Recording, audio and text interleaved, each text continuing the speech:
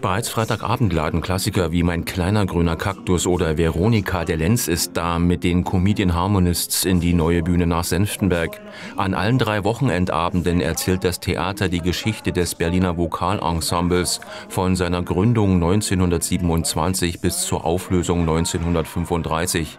Bis heute gelten die Comedian Harmonists als eine der beliebtesten deutschen Gesangsformationen. Die liebevolle Hommage von Gottfried Greifenhagen und Fritz Wittenbrink ist von Freitag bis Sonntag jeweils um 19.30 Uhr auf der Hauptbühne zu erleben. Auch die Tagebücher der Brigitte Reimann stehen an diesem Wochenende auf dem Spielplan.